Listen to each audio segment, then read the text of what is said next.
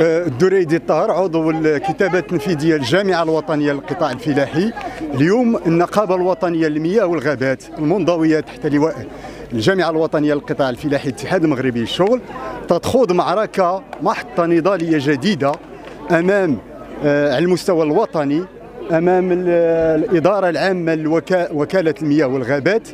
بعد ما هذه الوكالة تنكرات المجموعة من الوعود اللي اللي اللي قطعتها على على نفسها.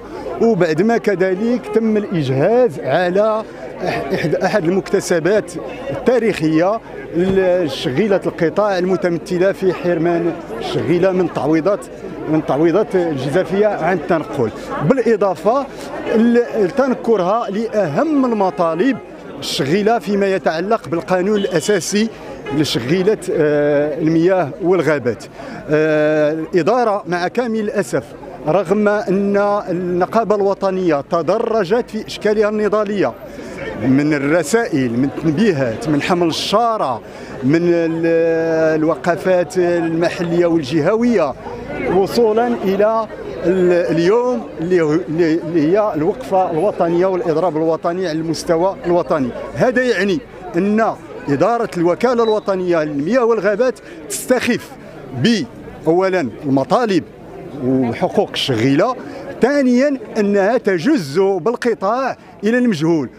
وحماية الثروة الغابوية هي مسؤولية وطنية ويجب أن تتحمل الإدارة مسؤولية هذه المسؤولية لأن كافة الأشكال النضالية أو الاحتجاجية اللي كتقوم بها مكرهة شغيلة القطاع تنعكس على الثروة الغابوية وتنعكس على البلاد فليتحمل الجميع مسؤوليته يمينة بابا آه، نائبة الكاتب العام النقابة الوطنية للمياه والغابات التابع للجامعة الوطنية للقطاع الفلاحي الاتحاد المغربي للشؤون اليوم آه، حنا كاينين هنا آه، تنفيذا للبرنامج النضالي اللي استرته النقابة الوطنية للمياه والغابات اللي فيها إضراب وطني عن العمل.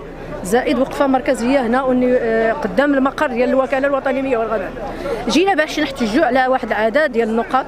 اولا هو التماطل والمقصود التماطل المقصود حول حول صرف تعويضات الجزافية للموظفين لقطاع المياه والغابات. ثانيا هي التعديل ديال القانون الأساسي اللي كان أحادي الجانب اللي دار بطريقة أحادية هو تعديل فيه واحد عدد واحد النقاط واحد عدد ديال النقاط اللي ما كتلبيش آه، آه، آه، التطلعات ديال القطاع ديال الموظفين ديال المياه والغابات ثالثا في هذا الشيء ديال مراجعة هذا الشيء ديال الأعمال الاجتماعية ديال النقطة ديال حامل الشواهد. حتى هي ودونك هادو بين الحوايج اللي أساسية في هذا البرنامج النضالي ديالنا. donc كذلك donc كاين كذلك واحد النقطة اللي مزيان نركزوا عليها. هو أنه يكون حوار كنطالبوا بحوار جاد ومسؤول مع القطاع المياه والغابات حيت التسويف ما كيعطي غير هذا الشيء كيعطي الاحتقان داخل القطاع المياه والغابات.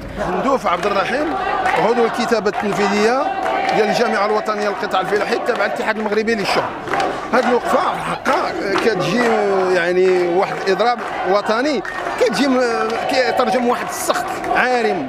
داخل الوكالة. علاش؟ لأن الإدارة تزام إدارة عمومية.